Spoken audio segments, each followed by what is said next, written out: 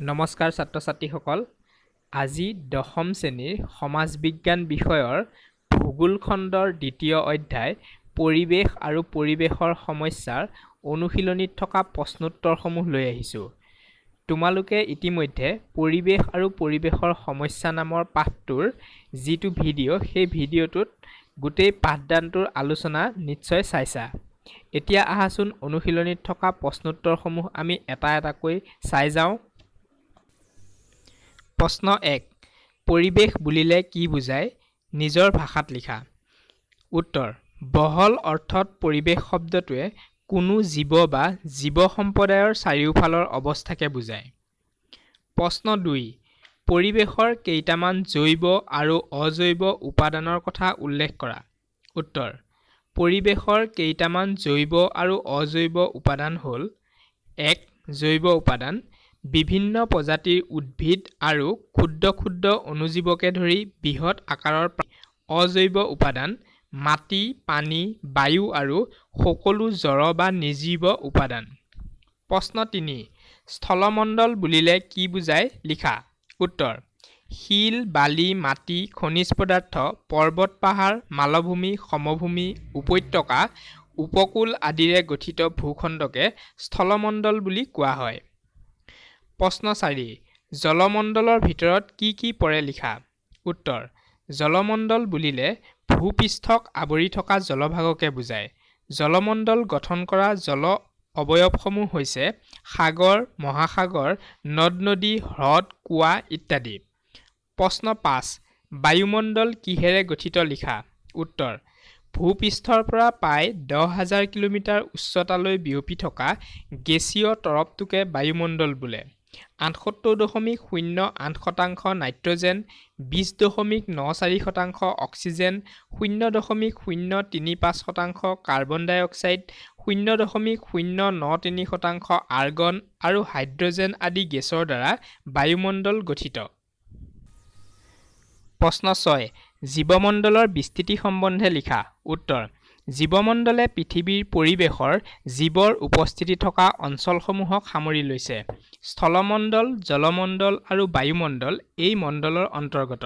ভূপৃষ্ঠ ভূপৃষ্ঠৰ পৰা কেইমিটাৰমান তললৈ বায়ুমণ্ডলৰ নিম্ন স্তৰ আৰু সাগৰ মহাসাগৰৰ প্ৰায়ভাগ অংশই এই মণ্ডলে সামৰি লৈছে। প্ৰশ্ন সাত পৃথিৱীৰ পৰিৱেশৰ প্ৰধান মণ্ডল চাৰিটাৰ মাজৰ সম্বন্ধৰ বিষয়ে চমুকৈ লিখা। উত্তৰ পৰিৱেশ স্থলমণ্ডল বায়ুমণ্ডল জলমণ্ডল আৰু জীৱমণ্ডল নামৰ চাৰিটা উপাদান বা মণ্ডলেৰে গঠিত। পৰিৱেশৰ এই চাৰিওটা মণ্ডলৰ মাজত পাৰস্পৰিক সম্পৰ্ক থকাৰ লগতে ইহঁত এটাৰ ওপৰত আনটো নিৰ্ভৰশীল। প্ৰকৃততে চাৰিওটা মণ্ডলে নিজৰ নিজৰ প্ৰকৃতি আৰু অস্তিত্বৰ বাবে পৰস্পৰৰ ওপৰত নিৰ্ভৰশীল।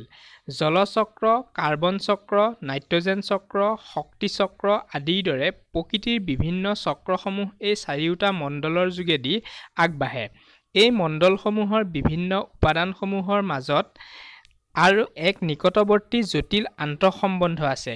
যিকোনো এটা গুৰুত্বপূৰ্ণ মণ্ডলত সংঘটিত হোৱা পৰিৱৰ্তনে পৰিৱেশৰ অন্য তিনিটা মণ্ডলকো প্ৰভাৱিত কৰে।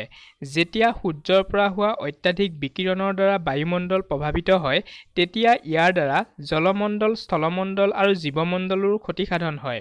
ইয়াৰ জৰিয়তে বৰফ গলাৰ ফলত সাগৰ পৃষ্ঠৰ উচ্চতা বৃদ্ধি হৈ ভূপৃষ্ঠৰ উপকূলীয় অঞ্চলসমূহত বৃহৎ পৰিৱৰ্তন সংঘটিত হয়। ইয়াৰ ফলস্বৰূপে স্থলমণ্ডলৰ বহুতো অঞ্চল পানীৰ তলত বুৰ যায়। বায়ুমণ্ডলৰ অত্যাধিক উষ্ণতাৰ ফলত স্থলমণ্ডল জলমণ্ডল আৰু জীৱমণ্ডলত বাস কৰা বহুতো অণুজীৱ উদ্ভিদ তথা জীৱ জন্তুৰ মৃত্যু হয়। আনহাতে স্থলমণ্ডলত থকা গছ গছনিসমূহ জধে মধে কটাৰ ফলত অত্যাধিক মাত্ৰাত সেউজগৃহ গেছসমূহ বৃদ্ধি হৈ গোলকীয় উত্তাপ বৃদ্ধি পাইছে যিটোৱে কেৱল পৃথিৱীৰ স্থলমণ্ডলত থকা জীৱসমূহৰে ক্ষতি কৰা নাই বৰঞ্চ ই জলমণ্ডলৰ জীৱসমূহৰো ক্ষতিসাধন কৰিছে। এইদৰে স্পষ্ট কৰে যে পৰিৱেশৰ চাৰিওটা মণ্ডলৰ মাজতে ওচৰ সম্বন্ধ আছে আৰু ইহঁত এটাৰ ওপৰত আনটো নিৰ্ভৰশীল। প্ৰশ্ন আঠ পৰিৱেশ পৰিৱৰ্তনৰ প্ৰধান কাৰকবোৰ উল্লেখ কৰা। উত্তৰ বৰ্তমান সময়ত স্থান আৰু কাল অনুযায়ী পৰিৱেশৰ পৰিৱৰ্তন ঘটা দেখা যায়। এনে পৰিৱেশ পৰিৱৰ্তনৰ প্ৰধান কাৰণসমূহ হৈছে নগৰীকৰণ উদ্যোগীকৰণ যোগাযোগ তথা পৰিবহণৰ সম্প্ৰসাৰণ অৰণ্য আৰু জলাশয়সমূহৰ সংকোচন আদিৰ দৰে পৰিৱেশ বিৰোধী মানৱ কাৰ্যকলাপসমূহ। এই কাৰ্যকলাপসমূহে চাৰিওটা মণ্ডলতে গভীৰভাৱে কুপ্ৰভাৱ পেলাইছে। পাৰ্বত্য অঞ্চলৰ পৰা মৰুভূমি অঞ্চললৈকে হোৱা জনসংখ্যা তথা মানৱ কাৰ্যকলাপৰ সম্প্ৰসাৰণৰ ফলত সেইবোৰ অঞ্চলৰ পৰিৱেশৰ দ্ৰুতভাৱে পৰিৱৰ্তন ঘটিছে। পৰিৱেশ পৰিৱৰ্তনৰ প্ৰধান কাৰণসমূহ হ'ল জনসংখ্যাৰ বৃদ্ধি উদ্যোগীকৰণ তথা নগৰীকৰণ পৰিৱেশত কাৰ্বন ডাই অক্সাইডৰ পৰিমাণ বৃদ্ধি হোৱা নিৰ্বনানীকৰণ আৰু জলাশয়ৰ সংকোচন পাৰ্বত্য আৰু মৰু অঞ্চললৈ সম্প্ৰসাৰিত হোৱা মানৱ কাৰ্যকলাপ। প্ৰশ্ন ন। পৰিৱেশৰ সমস্যা মানে কি? ব্যাখ্যা কৰা। উত্তৰ বহু বছৰ পূৰ্বে পৃথিৱীত কোনো ধৰণৰ পাৰিপাৰ্শ্বিক সমস্যা নাছিল। ইয়াৰ মূলতে আছিল পৰিৱেশৰ প্ৰাকৃতিক আৰু মানৱসৃষ্ট উপাদানসমূহৰ মাজত থকা ভাৰসাম্যতা। কিন্তু দিনে দিনে বৃদ্ধি হৈ অহা দ্ৰুত জনসংখ্যা নগৰীকৰণৰ সম্প্ৰসাৰণ উদ্যোগীকৰণ নিৰ্বনানীকৰণ জীৱাশ্ম ইন্ধনৰ ব্যাপক ব্যৱহাৰ জলাশয়ৰ সংকোচন আদিৰ ফলস্বৰূপে পৃথিৱীৰ চাৰিওটা মণ্ডলৰ উপাদানসমূহৰ মাজত থকা পাৰিপাৰ্শ্বিক ভাৰসাম্যতা বিঘ্নিত হৈ পৰে। ইয়াৰ ফলতে প্ৰদূষণ মৰুকৰণ গোলকীয় উত্তাপ বৃদ্ধি বৰফৰ গলন সাগৰ পৃষ্ঠৰ উচ্চতা বৃদ্ধি আদিৰ দৰে বহুতো সমস্যাৰ উদ্ভৱ হৈছে। পৰিৱেশৰ লগত জড়িত এই সকলোবোৰ সমস্যাকে পৰিৱেশিক বা পাৰিপাৰ্শ্বিক সমস্যা বোলা হয়। প্ৰশ্ন দহ ভৌগোলিক দিশৰ পৰা পৰিৱেশৰ সমস্যাক কি কি ভাগত ভগাব পাৰি লিখা? উত্তৰ ভৌগোলিক দিশৰ পৰা পৰিৱেশৰ সমস্যাসমূহক তিনিধৰণে বিবেচনা কৰিব পাৰি। ক স্থানীয় সমস্যা লোকেল প্ৰব্লেম। খ আঞ্চলিক সমস্যা ৰিজিয়নেল প্ৰব্লেম আৰু গ গোলকীয় সমস্যা বা গ্ল'বেল প্ৰব্লেম। প্ৰশ্ন এঘাৰ পৰিৱেশৰ স্থানীয় সমস্যা কি? উদাহৰণ দিয়া। উত্তৰ উৎপত্তি আৰু বিস্তৃতিৰ ফালৰ পৰা স্থানীয় সমস্যাসমূহ একো একোটা সৰু এলেকাত সীমাবদ্ধ হৈ থাকিব পাৰে। উদাহৰণস্বৰূপে এটা ক্ষুদ্ৰ উদ্যোগে কৰা সীমিত ভূমি প্ৰদূষণ বিল এখন তৰাং হৈ অহাৰ ফলত খৰালি সৃষ্টি হোৱা পানীৰ নাটনি কোনো এঠাইত নৈয়ে সৃষ্টি কৰা খহনীয়াৰ সমস্যা ইত্যাদি। প্ৰশ্ন বাৰ। পৰিৱেশৰ আঞ্চলিক সমস্যাৰ দুটা উদাহৰণ দিয়া। উত্তৰ পৰিৱেশৰ আঞ্চলিক সমস্যাৰ দুটা উদাহৰণ হ'ল অসমৰ ব্ৰহ্মপুত্ৰ আৰু বৰাক উপত্যকাৰ বানপানী সমস্যা আৰু মহানগৰ অঞ্চলৰ ভূগৰ্ভস্থ পানীৰ নাটনিজনিত সমস্যা। প্ৰশ্ন তেৰ কোনবোৰ সমস্যাক গোলকীয় পৰিৱেশৰ সমস্যা বুলি কোৱা হয় লিখা।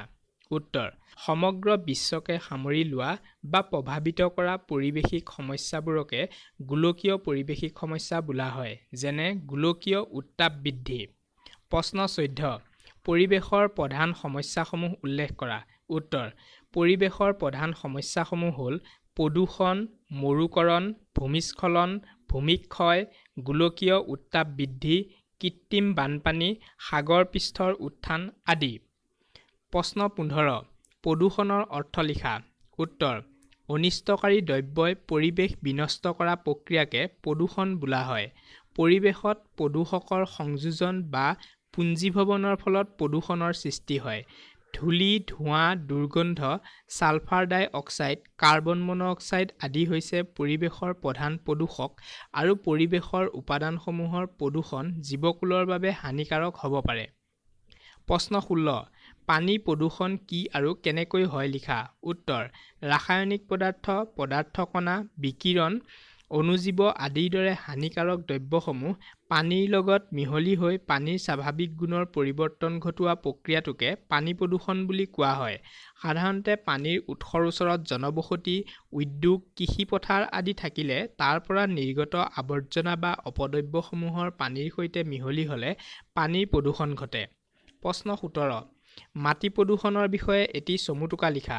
উত্তৰ বৰ্তমান সময়ত বিশ্বৰ প্ৰায়বোৰ দেশতে ভূমি প্ৰদূষণ বৃদ্ধি হৈ বিপদসীমাৰ কাষ চাপিছে।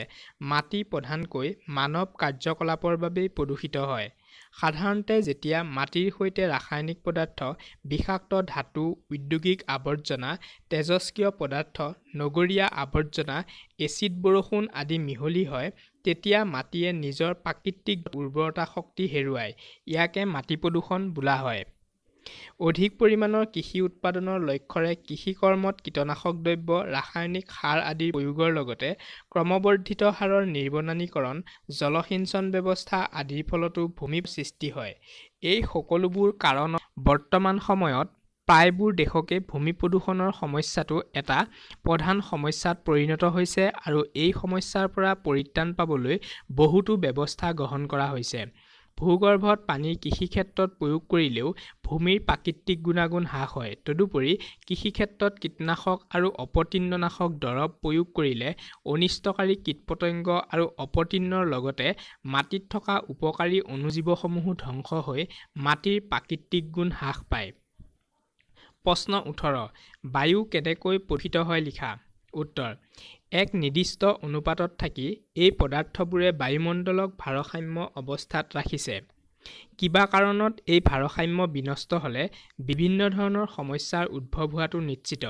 প্ৰাকৃতিক বা মানৱসৃষ্ট কাৰণত বায়ুমণ্ডলত কঠিন তৰল বা গেছীয় পদাৰ্থৰ সংযোজন ঘটিলে বায়ুৰ স্বাভাৱিক অৱস্থাৰ পৰিৱৰ্তন ঘটিব পাৰে।